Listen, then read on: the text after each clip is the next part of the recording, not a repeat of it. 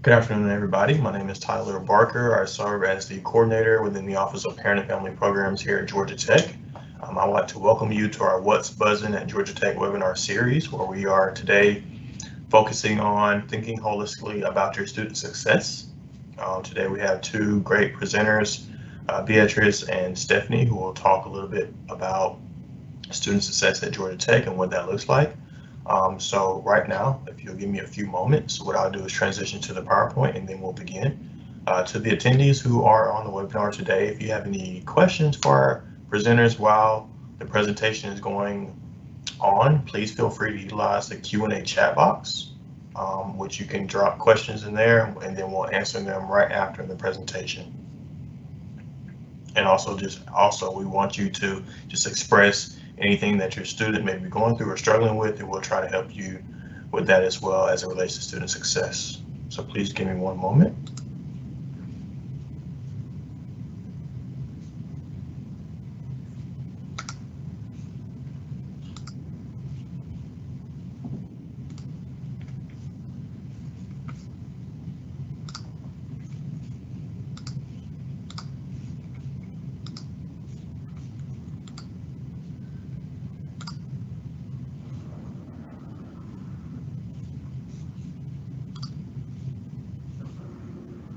All right, and without further ado, I will turn it over to Stephanie and Beatriz. Well, good afternoon. Um, my name is Beatriz Rodriguez, and I'm an assistant director in the Office of Undergraduate Advising and Transition. Hi, I'm Stephanie Aluko, and I am the exploratory advisor in the Office of Undergraduate Advising and Transition. So um, the image that you're seeing on the screen, um, thinking holistically about student success um, and the topic that we have for today, um, what we wanted to emphasize is that when students come to an institution, college like Georgia Tech, um, we're not just necessarily focusing um, on academics and the students making a 4.0 of graduating uh, from Georgia Tech, but we're really thinking from the student perspective um, as a holistic person that is developing in college. So there's a lot of um, topics that overlap. And um, on the graphic, you see that there's some academic components that might overlap with some social, with self-care and well-being and being prepared for college, for a career after college. So I think that the emphasis that we are going to make with the programs and the conversation we're going to be having at the end with the Q&A is to really start thinking from those general perspective how our programs overlap. Um, the particular program that I work with is called academic coaching. Um, and part of it is thinking and how to help a student with the learning process, not the content of the class, but the learning through academics and how that, in, that interacts with their social um, and their ability to live a well-balanced life and also explore those extracurriculars in college while also taking care of themselves and that self-care. So all these areas overlap in the program when we're thinking about students' success. And for exploratory advising, so for exploratory advising, what you'll find is that uh, for students, a lot of times if we think about careers um, and then we think about academics, um, that that kind of combination of consciousness leads to a better selection of majors, minors, and certificates, and usually helps students feel more confident in the programs that they choose because it's easier for them to understand how it's preparing them for their career goals.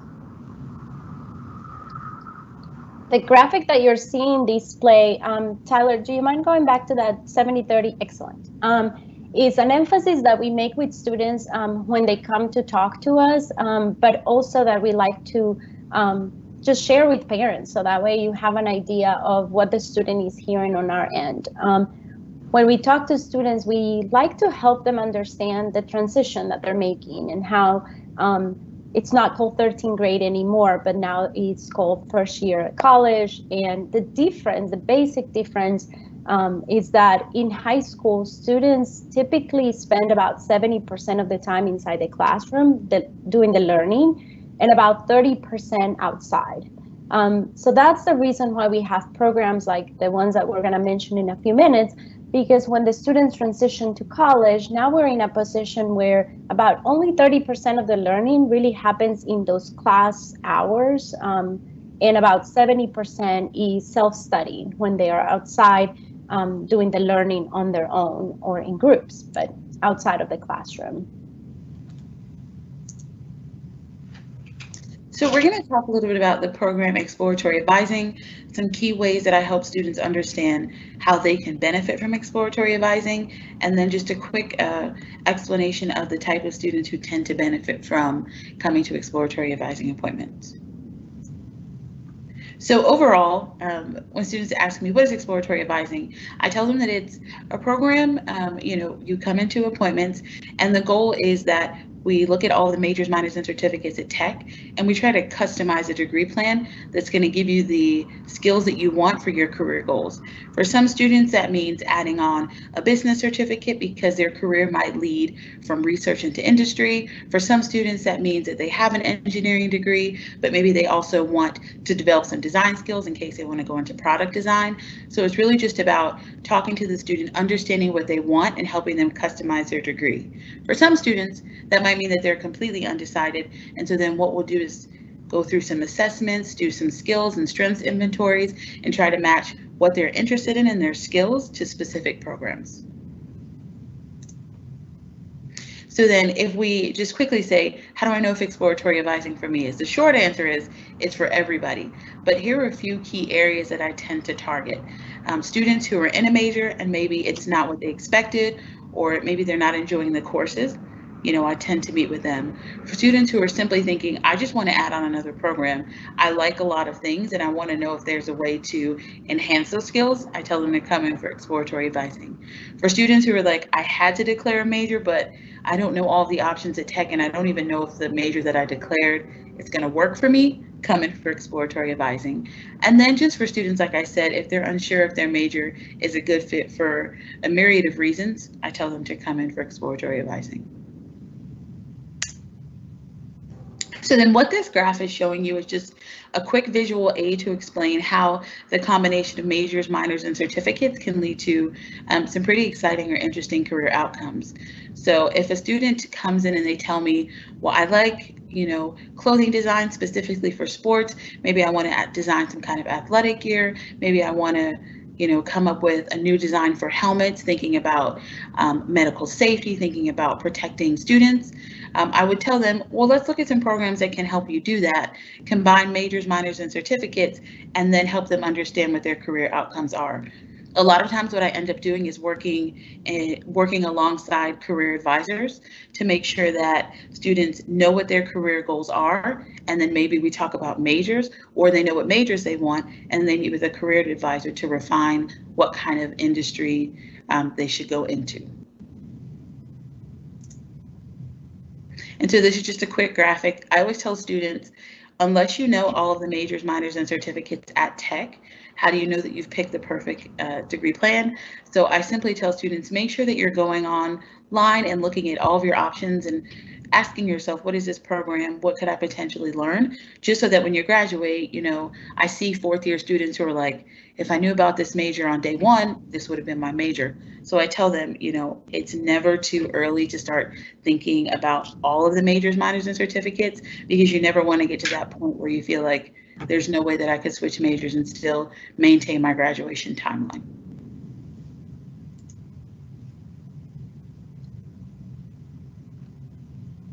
I need to take myself up of mute. so um, how would all these interact? Um, as you probably heard from Stephanie, is like Georgia Tech has a plethora of possibilities and sometimes a student comes to Georgia Tech and they start feeling overwhelmed um, either by the amount of resources available but the pace of their classes by the new environment that they're in and how learning needs to take place so that's why we have a program like academic coaching. Um, what it is, is a program that allows a student to think about um, how to discover self-motivation, how to manage self-regulation, what is the process of learning. Um, and through that, they work with a professional staff member that helps them through this process. So um, some of the things that we hear, just to give you an idea of what happens in a coaching appointment, um, there's a variety of reasons why a student will be coming to see us. Um, some students will come because they're feeling overwhelmed and they're saying, um, I feel like there's a lot of work for all of my classes and I need to figure out how to organize myself and kind of create structure when we're in these 70, 30% where if I just go to my class is not enough. There's homeworks and there's study groups and there's all these different resources. So they need to create a structure for themselves and discover like a time management plan that works for them. Um, so that's a great reason um, or um, very popular reason why students come to academic coaching at the beginning of the semester or maybe towards the middle. Um, right now, um, it's week five and students are getting prepared to take exams. Um, so some of them want to create a strategy and a plan. It's like, how do I prepare for these? We hear often from students saying that in high school, they never really learn how to study um, because all they focus on was just maybe the night before studying a little bit, really paying attention in class, and that just produced the A's in class. But they're coming to an environment like Georgia Tech where learning is a little bit deeper and they're struggling with understanding how do they prepare for these round of exams or how do they balance having three exams at once. So that's what we do in an academic coaching session. We work with them. Um, it's a lot of listening. It's a lot of open-ended questions to try to help the student figure it out on their own what works best for them without us giving them direct advice about this is what you need to do.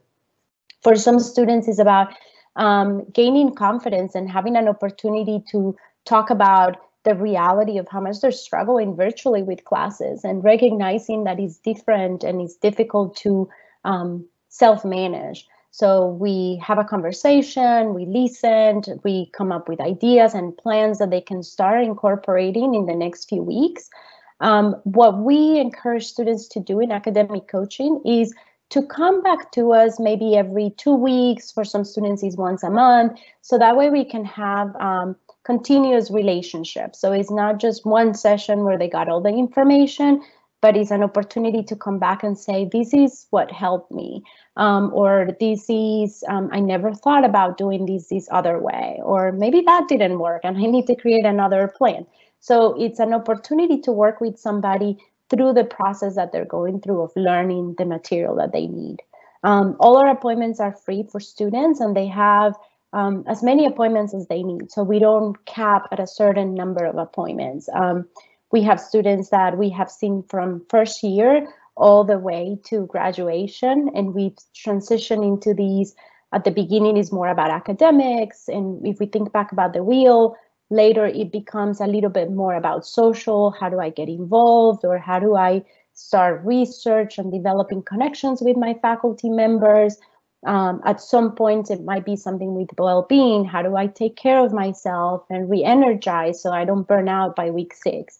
So um, I would say that academic coaching is a relationship that the student develop with a coach, um, just like athletes will have coaches and in career people have life coaches um, in college, students have academic coaches. And some of the topics, I think I've already mentioned some of these. Um, the most common reasons why a student will come for academic coaching. Um, one, they want to create a study or time management plan. Um, procrastination has been something that has been very popular um, over the past maybe six months since we've gone virtually, um, students trying to figure out how to not postpone and leave things for the last minute, but how to be proactive, um, or maybe just specific anti-procrastination techniques, which we have and we share with them. So um, we talk about study skills and test preparation. That's typically the topic that it's been covered um, over the past few weeks since students are in exams.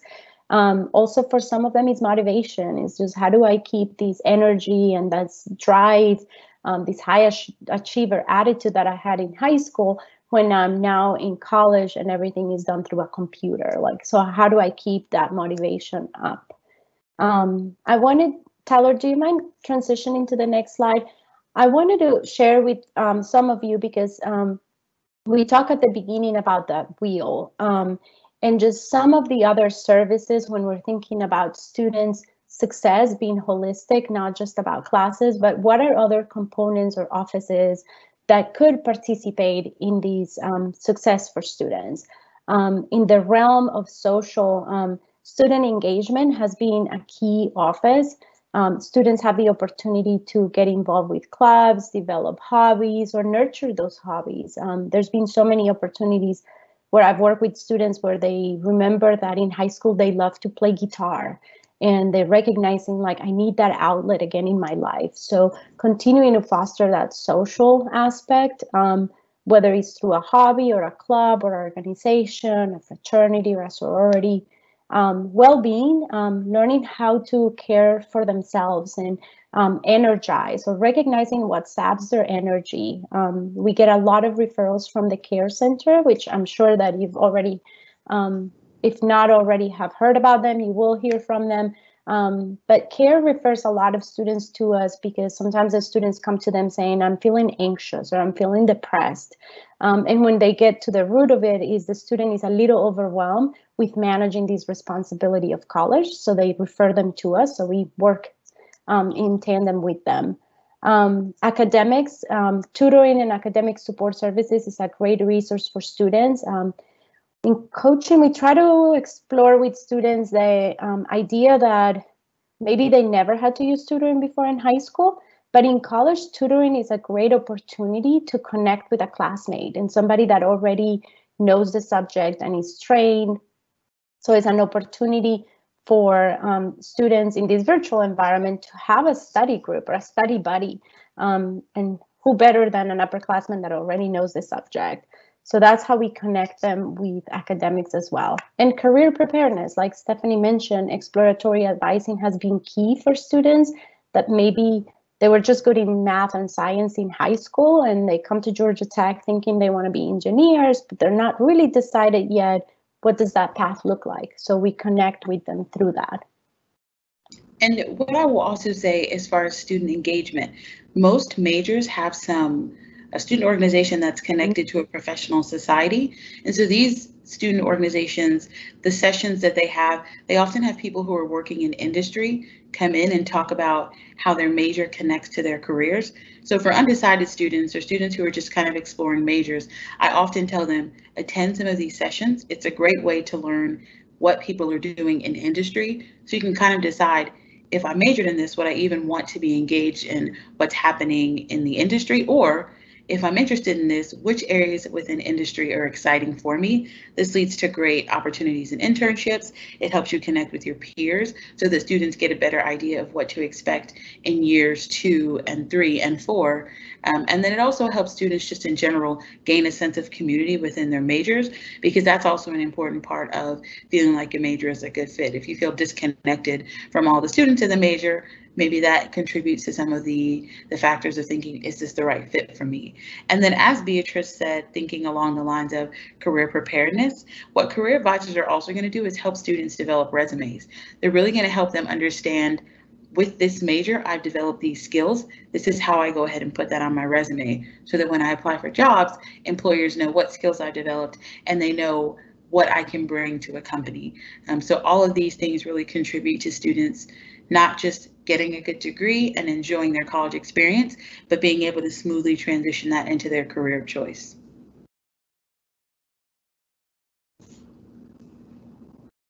So one of the questions that we have just for the parents is, you know, in what areas do you see challenges um, in your student adjusting to college life. Overall, I think right now it's pretty unique because a lot of that transition is happening virtually. Um, but just thinking overall, what kind of challenges do you think students could face adjusting to college life? Just as a way to discuss it, but also for us, we can kind of recommend some campus resources that would assist them through that transition.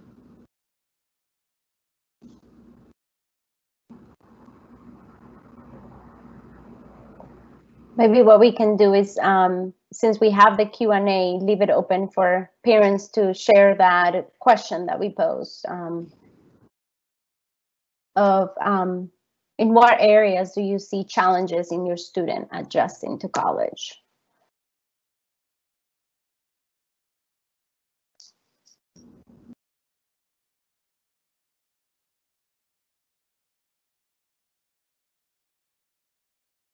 I I think think you're you're on mute. Sorry about that. Uh, thank you so much, Stephanie and Beatriz, for that wonderful presentation. Um, it seems that we don't have any questions just yet in the chat box. Parents, please, please feel free. Just talk to us about, you know, if your student is living on campus or if they're doing remote, you know, what, what are they doing? Uh, how, are- how are they doing thus far this semester academically? What have you seen? What have you not seen in comparison to other years? We would love to just chat with you parents. So please drop that information in the Q and A chat box. Um,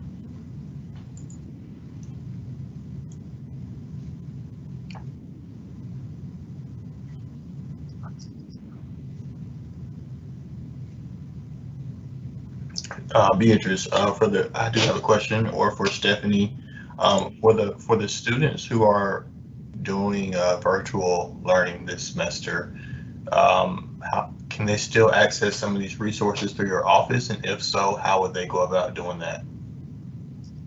Yeah, I'll be happy to answer that one. Um, yes, all our services are definitely available to students. Um, what we have transitioned is to an online platform. So we use Blue Jeans, or if the student prefer Teams like this um, platform, or if it's maybe easier to connect through Skype, or like we're, we're being very flexible. But I feel like the most common way for the students to access our service is make an appointment and we meet through Blue Jeans. Um, we have academic coaching, we have tutoring, we have plus sessions, which is um, um, supplemental or study groups for each specific course, and obviously exploratory advising, obviously uh, um, available as well. So all our services are available online. And then one thing I always encourage students to do is if you're in a different time zone and the appointment times aren't going to work for you, or it would mean that you're having an appointment at 2 a.m., Mhm. obviously nobody wants to do that. So just let us know. I have been um, working with quite a few students just to make sure that I'm available at a time that works well for both of us. If that means I'm up at 8 a.m., that works because I would rather me be up at 8 than you be up at 2 a.m. So in the comment section of your appointment, if that's a concern, I always tell students, just go ahead and put that in there so that we can try to come up with a better time to meet. Um, and then as Beatriz said, Blue Jeans, Teams, Skype, we're pretty flexible, just making sure that we get those appointments um, scheduled. I'm putting um, on the Q&A um, a link to all our services. What we also recognize is sometimes it takes a little bit of time for a student to make an appointment. Um, so we have all these resources available where they can start getting um, a little taste of what academic coaching, exploratory advising, or in general our services are. So we have specific um, handouts and materials on time management. We have videos as well. Um, so for parents, I think if, if you have a conversation with your student about classes and you want to um, just remind them that these they can access like let's say the semester at a glance which is a time management tool that is very popular at tech it's available online or they can read more about how to prepare for exams there so we have a lot of resources available online Um, do you have any recommendations uh, for parents on how to support their students? Um, and just in follow up to that, um, especially with time management um, as well, if you could speak on that, especially for the parents who may have students who are virtual this semester and first year students. Absolutely. I think that um, we talk about that topic of time management at least in 60, 70% of our appointments. It always comes down to that because it ties to organization. And I have seen students showing me the planners, their parents bought them, um, and they just want to learn is how do I use these? Um, so some of the um, feedback or just kind of like um, things that I would like to remind parents, um, asking questions, and you could also ask coaching questions like um, open-ended questions and asking them um, what makes it difficult. Um, like you're you're struggling in that class, what makes it difficult to learn in that class, um, or how are you managing your time? If they're maybe saying, I just don't have time, it's like, how are you managing your time? What are you doing? What's your organization plan? So that way you can really become a partner and listening to them. Um, and then maybe suggesting that now that you learn about academic coaching and these services is giving them ideas about maybe you want to talk to somebody and hear um, a little bit more about a different way or how to incorporate new things into that system. Uh, I've The always other thing- yeah, go ahead. The, the other thing that I would add to that is um, in transitioning from high school to college, you know, you're transitioning from a pretty prescriptive academic plan, you know, you've got people who are deciding what kind of courses you're going to take, what your schedule looks like. And so in that transition to college, what a lot of students are facing is just this uncertainty in how do I manage this big switch? So I always tell parents to just kind of be patient with them. I know that that sounds simple, but it is it is a difficult transition to to go from having someone making these plans for you to it all being something you decide. And in that same way, kind of giving students the freedom to, you know, if if they are thinking about switching majors, kind of giving them that freedom. Um, a lot of times students will feel pressure to pursue one major or the other, and that pressure makes them um, incapable of looking at other options or even understanding their interest. So I always tell just give students space to explore what it means to be a college student and explore what it means to decide what they want with their careers. Um, Stephanie, I have a question for you. Um, if I'm a student and I want to and I want to pursue two minors, is that possible? And, and if so, what does that process look like? Yes, so the maximum that you can pursue is two minors. So that's kind of the limit. Um, what that process looks like is you'll have to, for some majors, they have a, or minors, they have a change of minor session. So you go into the interest meeting, you will have to take a form that you get signed by your, the advisor for your major, and then the advisor for the minor, and then that form is submitted to the registrar's office. What that will then do is update all the students' records, and they're able to sign up for courses for the minor, one thing to keep in mind, and this is what you can see on the advising website, is the requirements. Some minors have course prerequisites, some minors have GPA prerequisites, and then some minors they just are, they just uh, don't have those requirements. But you probably want to think about it before you enter them because they might be a little bit more rigorous. So those are the key considerations. Um, is there a change of major session that you need, change of minor session that you need to sign up for? Do you have that form completed? And then are there prerequisites and do you meet those requirements? And if not, should you be planning next semester to be able to meet those requirements in the future? Thank you so much for sharing that, Stephanie. And I have one more question for you as well. Um, if me and my student, um, as a parent, aren't seeing eye to eye about um, a major change, um, do I have the opportunity to sit in on the exploratory advising session, session as well to learn more information? So a lot of the appointments are, I mean, the idea is that it will be student and advisor focused for two reasons. One, because of federal regulations, so FERPA, there are some, there, the student's academic record can only be shared with the student unless there is a waiver that's completed. So typically those appointments are going to be between advisor and student. However, if um, a parent is interested in the information that's being shared or has general questions, I always encourage emails. Um, I'm pretty quick about answering those emails, answering parent questions, and I do receive them sometimes. So that's what I would typically say is for FERPA regulations and also for students, I think that the one-on-one format tends to work a little bit better. I can dig in a little bit deeper, learn more about them. But again, email me if you have questions. And in some circumstances, I can understand if parents want to be involved, but that would be um, something that I would need to communicate with the student on to gauge their comfort level.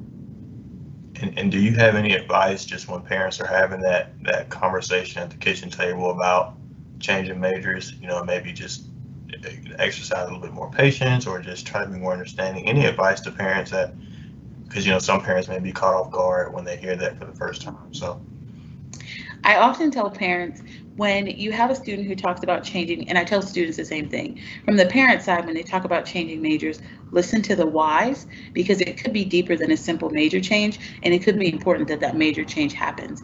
For the students, I always tell them, let's do as much research as possible so that your parents understand that you're not doing this on a whim, but it's a change that's leading to a particular career that you thought through.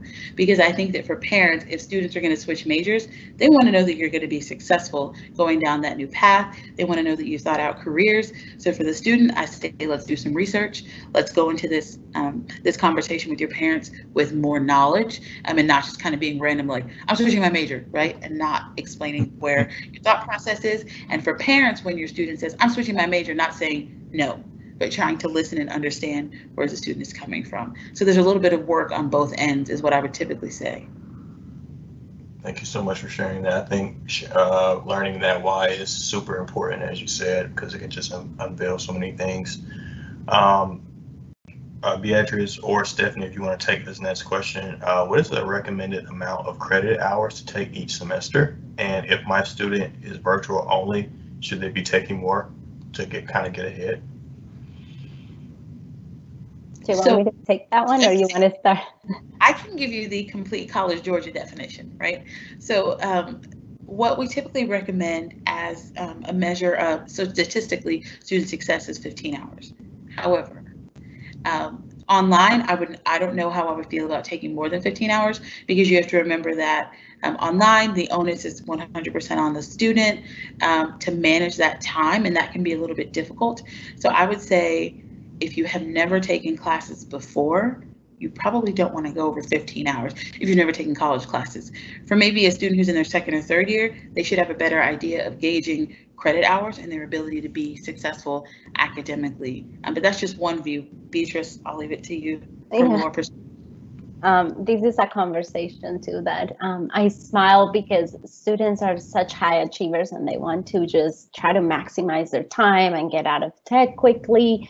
Um, and it's also costs money for parents um, if you're helping students. Um, yeah, I agree with everything that Stephanie said. I don't think that in this virtual environment, when so much um, responsibility is put on the student, um, the route is to go with more classes. Um, it's like a lot of uncertainty. There's sometimes just emailing the professor is not as easy as like, I'm gonna go walking into the office hours and ask a question. So things may take a little more um, and learning too. With the 70 30 we talked at the beginning, think about just enrolling 15 hours.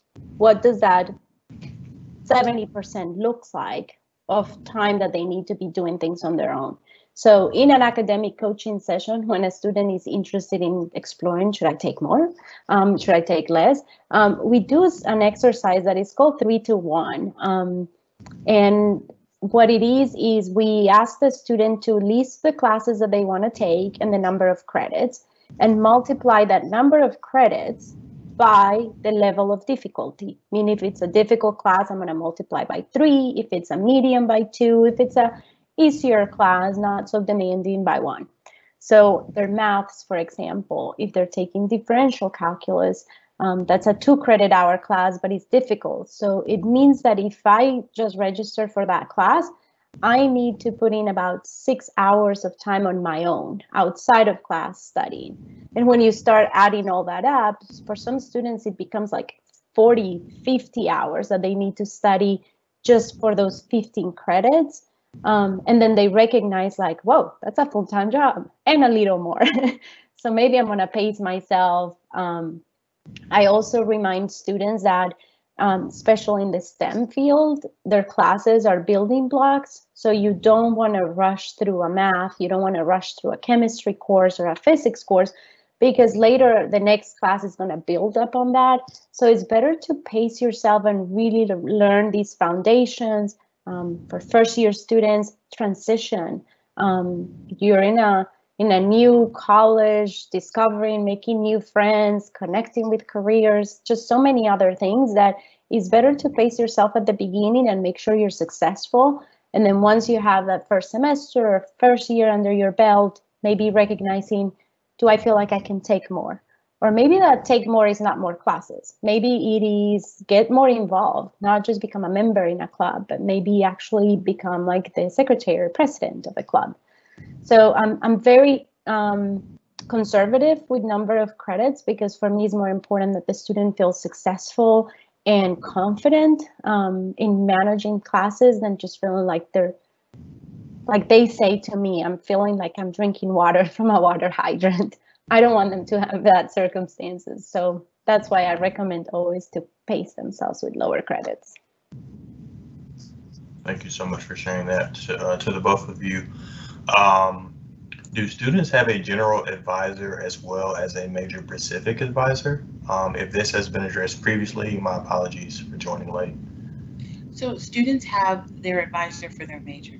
For some uh, majors, it's decided by their last name. And this again can be found if you go to advising.gatech.edu. You can search by major and you can find out who your advisor is if it's subdivided by last name. There is no general advisor. However, I find that for some of the general questions, for some of the overarching concepts that students tend to email me, um, I am an exploratory advisor, but I have also been an advisor for specific majors. So I tend to know a little bit on both sides of the equation. And um, Stephanie, if you can just touch on um, what the advising process looks like in, in terms of communication interaction. Um, does my student meet with the advisor monthly, uh, every two months? Can they meet with them more frequently than most? Um, and, and what does that look like? So um, if you need to meet with your advisor more than once, that's fine. For me as an exploratory advisor, I always tell students to make as many appointments as you need to feel confident in whatever your academic pathway is. For major advisors, they might want you to only meet with them once or twice a semester. Their loads tend to be a little bit different. They meet with more students, so it kind of varies. Um, but again, you would go into uh, advisor link and there you can see who your advisor is, you can see their appointment availability and schedule those appointments and try to schedule them around your academic calendar so that you're able to attend those appointments. Um, I haven't heard an advisor limit the number of appointments on a student, um, but I would say, you know, kind of use discretion. Maybe, you know, you don't want to meet with your advisor every day, but if you need to meet with them quite a few times to feel confident in your major, that's something that advisors are willing to work with students on. Thank you so much. And uh, if you don't mind, Stephanie, just for the parents and family members who joined the webinar late, if you can just touch on what exploratory advising is and uh, what you pretty much like what your office does for students.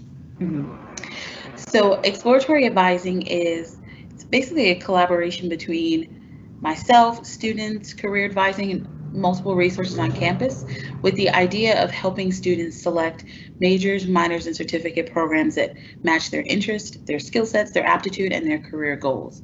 Often what students will end up doing is maybe meeting with a career advisor, looking at different career opportunities, and then meeting with me to discuss programs at Tech that will prepare them for that career, or meeting with me to discuss what they're interested in, and then meeting with a career advisor to discuss, based on your interest, here are some careers or um, here's some potential career pathways that you could pursue. So exploratory advising essentially is really getting to know a student and helping them find the right programs at Tech for them.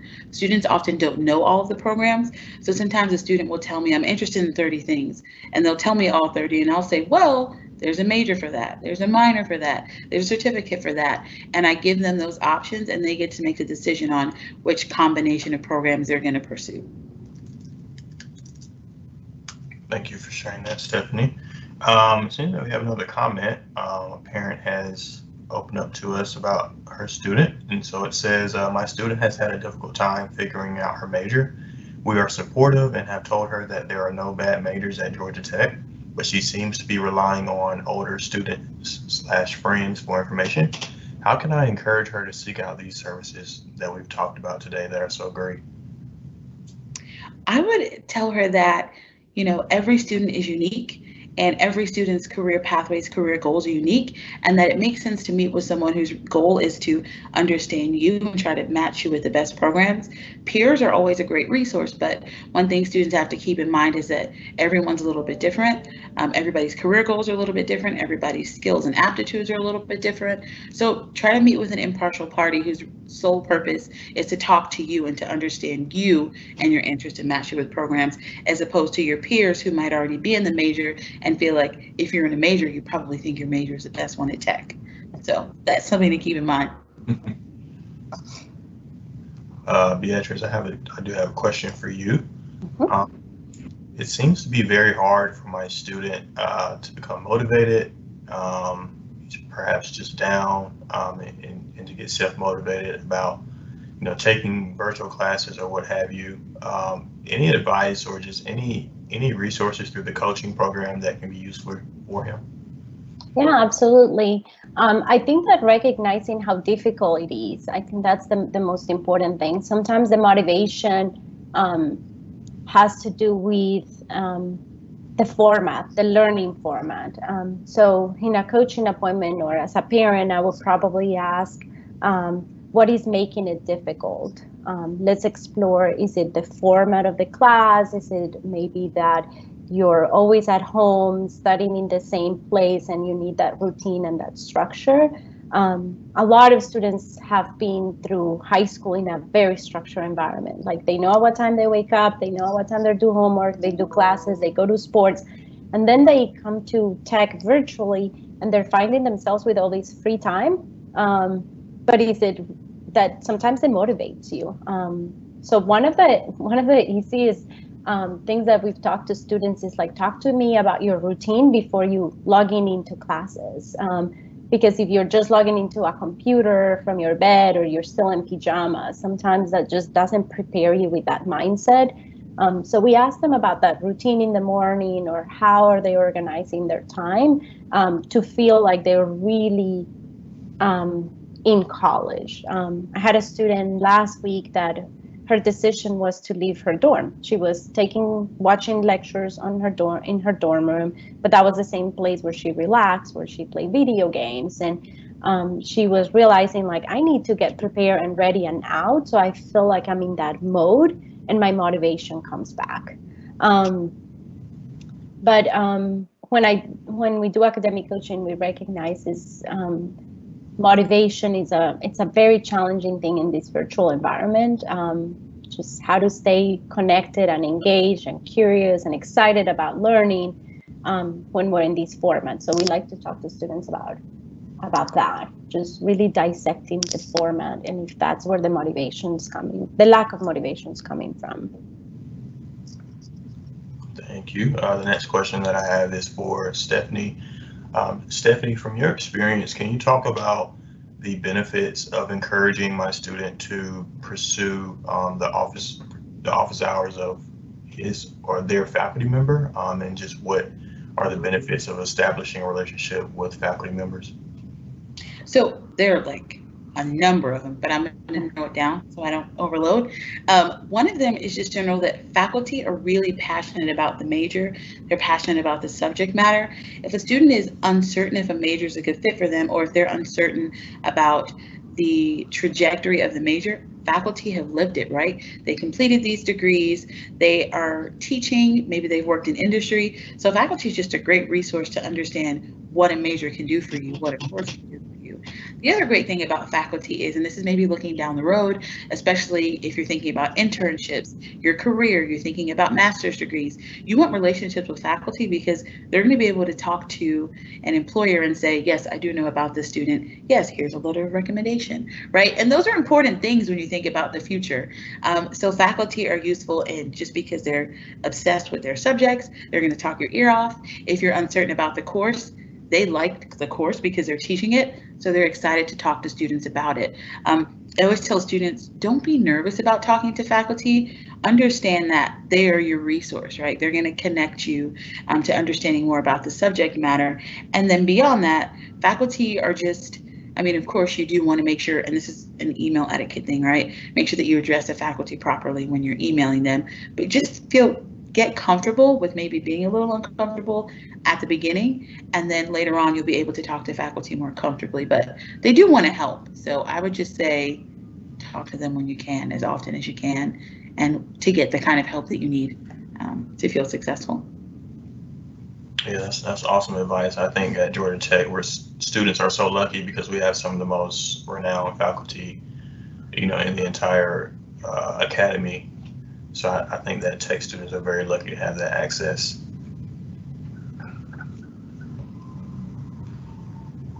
Next question, um, as a, as a parent, um, how soon or how late should I be pushing my student to pursue an internship or a co-op um, if it's their first year?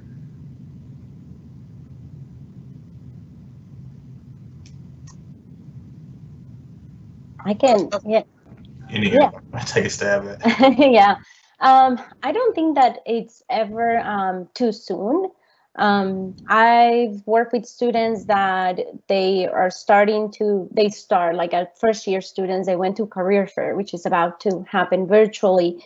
um, just like to browse. Um, no pressure on like I am now looking for a job. It's more like I'm curious. How does this work? And like let me see what companies are here.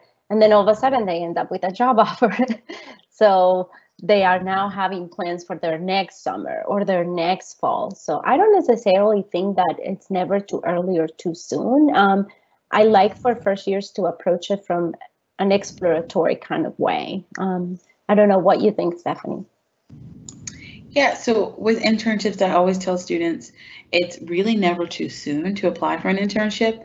And if you're, for whatever reason, ineligible for the um, internship, they're always going to tell you like whether they want a first, second, or third year. They're going to tell you the kind of skills they want to have you they want you to have before you apply, so students can kind of gauge which program is going to be a good fit for them. Um, the other thing I tell students about internships is exactly what Beatriz said, right? Sometimes it's just to help you explore and figure out, is this what I want? Is this not what I want? And internships do sometimes lead to jobs, right? So that's another way that you could just turn an internship into your career or treat an internship like a really great learning experience for the industry. So I always think it's never too soon. Um, and there are always going to be great ways for you to learn whether or not this career, in theory, whatever you had in your head about what you would be doing, matches reality. As you were talking, Stephanie, I was thinking how many students do an internship um, and then they come back and it's like, I need to change my major. This is not what I thought it was going to be, and, and I need to figure something out. Or on the opposite, students that come back so excited about everything that they learned that it just re-energizes them for courses. Like now they want to learn about deformable bodies because they know what that means in the workplace. Mm-hmm. So connecting that career with classes, I think is a great opportunity that tech has a strong program. And it does increase motivation, like you said, for some students. And I have had students who come back and they're like, um, I just spent the summer in a lab. Let's talk. So it's good for students, right? Either way, it really helps them figure out, um, just like you said, if what they want matches what they would actually be doing. Yeah. Thank you so much for sharing that. Um, I don't see any other questions. Um, so what we'll do now is just turn it over. If either one of you have any closing remarks, uh, Stephanie, we can start with you. Just to leave parents any advice, anything. So overall, what I always say about exploratory advising is if you don't need it now, you might need it in the future. So it's always a good program to know about because students, you know, their confidence in their degree programs kind of waxes and wanes. If you do feel confident in your program, maybe you don't need exploratory advising, but maybe through internships and taking courses, you've refined what pathway you want to go down, and we can have a conversation just about adding minors or certificates. Maybe through taking courses, you realize you do want to shift your major. So just kind of keep in mind that exploratory advising is going to be a good resource more likely than not in helping students just refine the kind of programs that they pursue. And like um, the tagline that I've been using for exploratory advising is customize your experience at Tech, right? Let's make sure that when you graduate, the pathway that you pursued matches you instead of, you know, being the blueprint of your friend or someone across the hall who told you this is what you should do at Tech. Yeah, um, and for for academic coaching, um, what I would say is just for parents to remember that there are professional staff on campus that a student can come talk to if they just want to discuss this process of learning. Um, it's not just specifically getting in the weeds of thermodynamics or calculus or the chemistry, um, but it's how am I organizing myself and seeing these um, from um, uh, bird's eye view of what is happening with my semester and my college and my learning. Um, for parents, I would encourage you, just like we do in coaching, asking open-ended questions. I've found like that is magic with students. They just open up and they start telling you all about things and maybe they will tell you things that you didn't even want to know. But asking open-ended questions like, um, what is what what interests you about that major? Or um, what are you liking at georgia tech so far? Um, what makes it challenging? Um, just asking questions so that way they can explore and reflect on their own experience that just goes miles with students.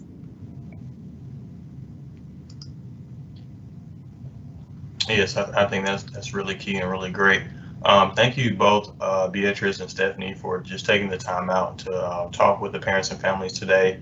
um, some really great knowledge, some really great information and resources.